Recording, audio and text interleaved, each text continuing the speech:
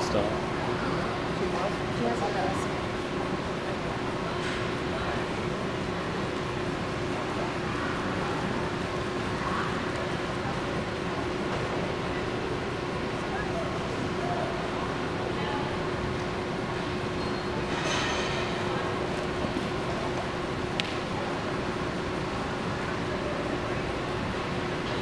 There we go.